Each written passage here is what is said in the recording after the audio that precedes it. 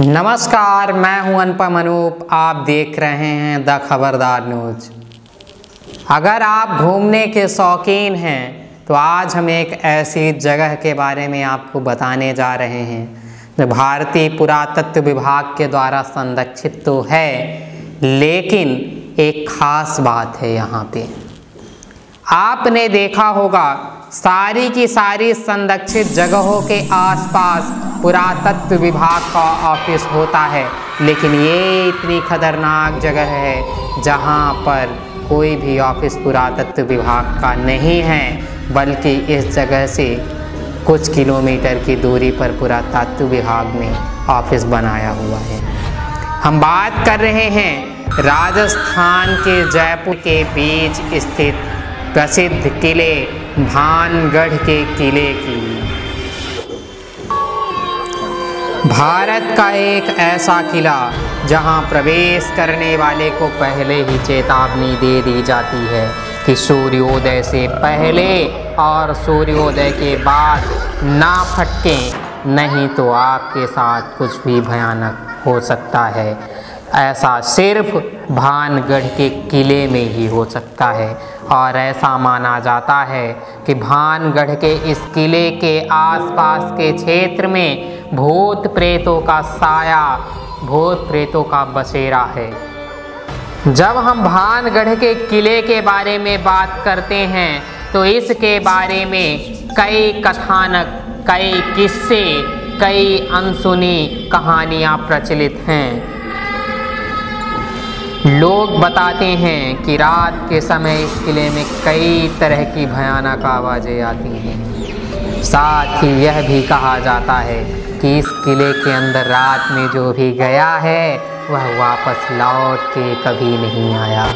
सिर्फ़ कुछ किस्से हैं जिन किस्सों की बात इस कहानी में हम आपके साथ साझा करने वाले हैं।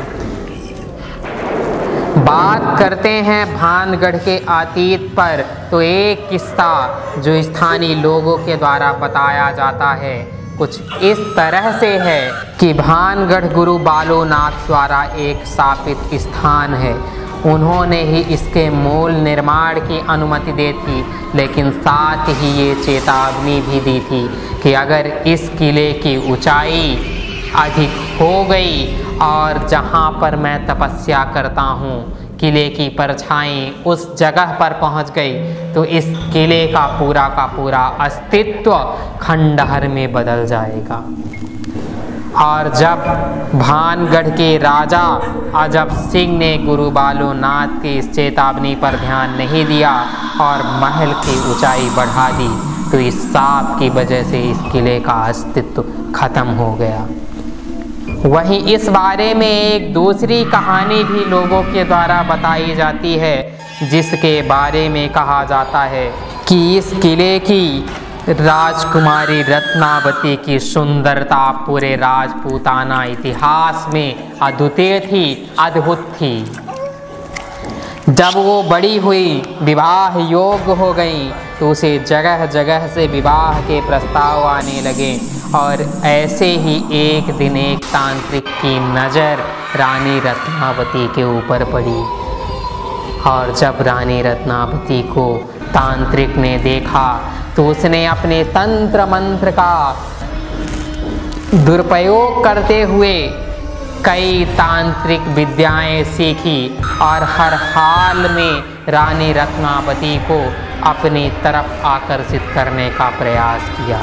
और इसी के तहत राजकुमारी रत्नावती पर वह गहरी निगाह रखने लगा। एक दिन की बात है। तांत्रिक ने देखा कि राजकुमारी का नौकर राजकुमारी के लिए बाज़ार से इत्र खरीद रहा था। तो तांत्रिक ने धोखे से उस इत्र में अपने जादू टोने का प्रयोग कर दिया। लेकिन राजकुमारी के एक विश्वास पात्र ने तांत्रिक को ऐसा करते हुए देख लिया और राजकुमारी को इस बारे में उसने बता दिया।